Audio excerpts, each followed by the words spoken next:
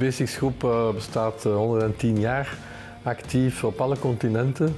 Uh, twee grote home markets, dat is Benelux, het Midden-Oosten.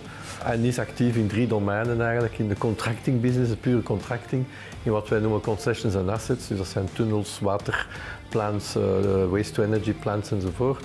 En ook in real estate, uh, vastgoedontwikkeling. Maar vandaag zijn we ongeveer met een kleine 16.000 mensen, waarvan een derde white collars en twee derde blue collars.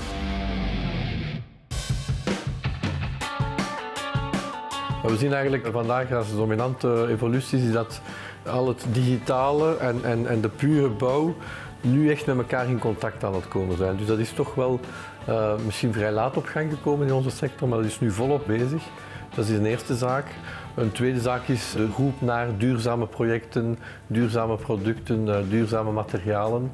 Dus ook een industrialisering van het concept van bouwen. Dus meer modulair bouwen uh, enzovoort. En dan een gigantische trend naar, uh, naar innovatie, naar het zoeken van nieuwe oplossingen voor de toekomst.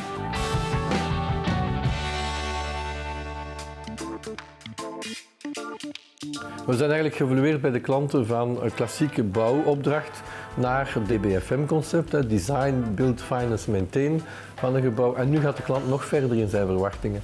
Dus hij vraagt eigenlijk een user experience, gericht naar energiegebruik, gericht naar user-friendliness van gebruik van het gebouw, efficiëntie van het gebouw. Al die mogelijkheden vraagt hij meer en meer als totaaloplossing naar een bouwonderneming. Digitale transformatie in onze sector betekent enerzijds dat er eh, heel veel data beschikbaar zijn. Dus ik had het van gebouw, maar dat gaat ook over infrastructuurwerken bijvoorbeeld. Civiele werken, heel veel data beschikbaar.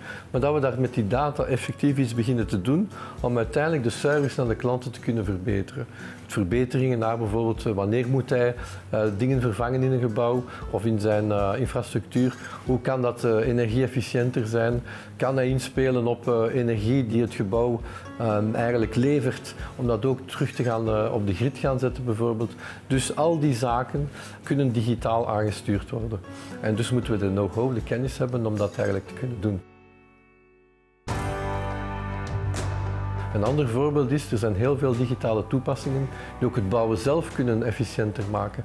Uh, type materialen die gebruikt worden, uh, vermijden dat er klasjes zijn in, in de gebouwen, dus veel efficiënter de planning gaan doen. We gaan ook partnerships aan met bijvoorbeeld Proximus in België naar smart buildings, uh, smart infrastructure.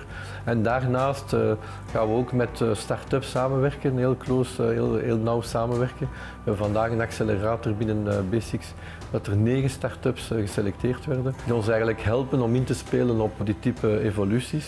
Dus inderdaad, een ecosysteem is eh, gigantisch belangrijk.